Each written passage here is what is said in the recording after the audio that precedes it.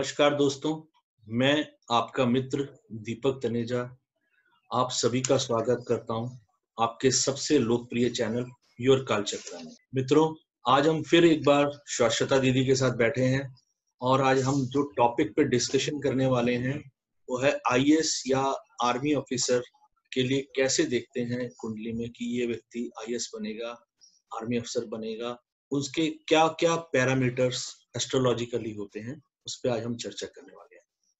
तो आप सभी के सहयोग से मैं शाश्वता जी का स्वागत करता हूँ। नमस्कार जी, आपका स्वागत है।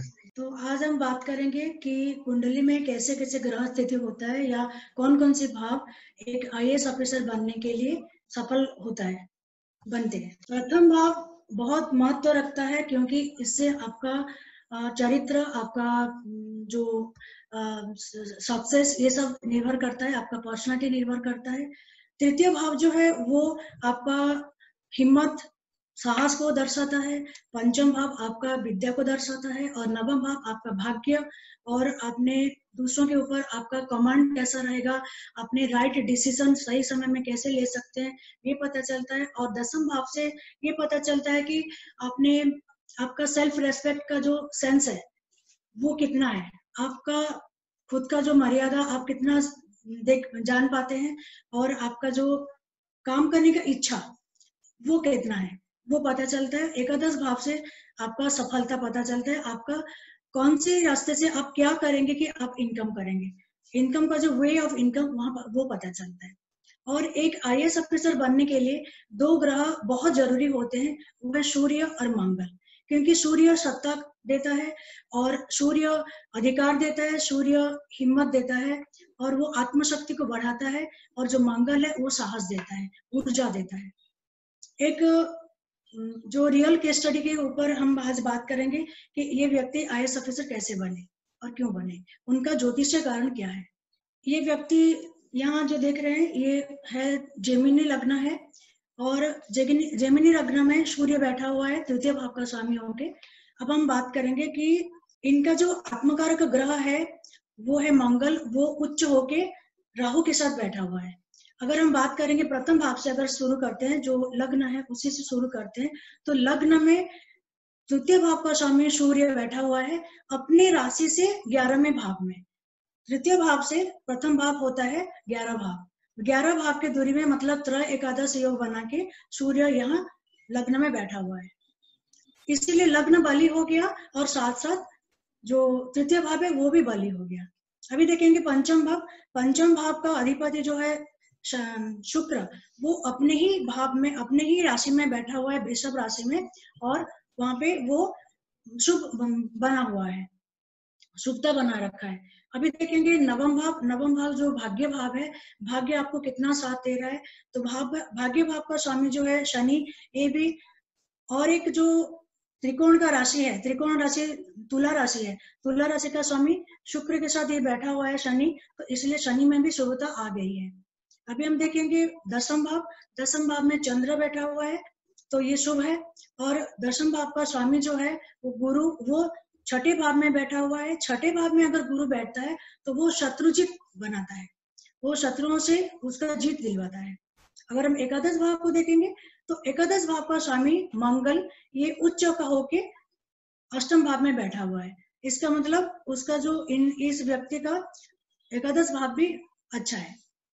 अभी हम देखते हैं कि प्रथम भाव तृतीय भाव पंचम भाव और नवम भाव दसम भाव और एकादश भाव ये चारों भाव का स्वामी का प्लेसमेंट सही जगह में अच्छा है। अभी देखेंगे कौन सी ग्रह इनको आयुष बनाने में सफल करवाया। प्रथम है सूर्य। सूर्य मृगशिरा नक्षत्र जो मंगल का नक्षत्र है उसमें द्वितीय चरण में है मरकरी उसका स्वामी है द्वितीय चरण का स्वामी है मरकरी उनका मित्र है उनके वहाँ पे बैठा हुआ है सूर्य इसका मतलब सूर्य इनका बहुत अच्छी तरह से इनको सफल बनाने में मदद करेगा नेक्स्ट हम्म। है मंगल मंगल जो है वो धनिष्ठ नक्षत्र जो है धनिष्ठ नक्षत्र का प्रथम चरण जो है वो सूर्य का चरण है उसमें वो बैठा हुआ है मतलब हम्म। मंगल भी अपने मित्र राशि मित्र ग्रह का चरण में बैठा होने के कारण मंगल भी यहाँ पे बलि तो है ही उसके बाद वो शुभता दे रहा है। इसलिए इस व्यक्ति आई ऑफिसर बने। इनका जो पर्सनैलिटी है बहुत डायनेमिक पर्सनैलिटी है और सूर्य इनको डायनामिक पर्सनैलिटी प्रदान कर रहा है। अभी हम देखेंगे कि जो अपना चरित्र है अपना जो टेंडेंसी है और अपना जो मेंटल स्ट्रेंथ है और अपना जो विल mm, पावर है ये सब और लीडरशिप क्वालिटी है सही समय में सही डिसीज़न ले पा रहे हैं कि नहीं, निर्णय ले पा रहे हैं कि नहीं, ये सब आप देखेंगे तो सूर्य और मंगल इनको बहुत हेल्प कर रहे हैं ऐसा बनने के लिए। इसलिए इनका पर्सनैलिटी बहुत डायनामिक है और इनका जो मानसिक शक्ति भी बहुत स्ट्रांग है। ये व्यक्ति जो है, इनका लग्न लग्न है, कन्या लग्न और कन्या लग्न में लग्न जो है वो ग्यारह डिग्री का है। नहीं, छह सॉरी छह डिग्री का है। यहाँ पे हम अगर देखते हैं, ये व्यक्ति जो है, वो एक इंडियन डिफेंस सर्विस में आर्मी ऑफिसर है, बड़े ऊँचे ऊँचे अहदे में है अभी। इनका अगर हम देखते हैं तो प्रथम भाव, तृतीय भाव, पंचम भाव, नवम भाव, दसम भाव और एकादश भाव। इस भाव का, इस, इन भावों का हम आज देखेंगे कैसा है और इनका जो इंडियन डिफेंस सर्विस में ले जाने के लिए जो मुख्य दो ग्रह हैं, वो है सूर्य और मंगल। ये दोनों ग्रह बहुत इम्पोर्टेंट रोल प्ले करते हैं।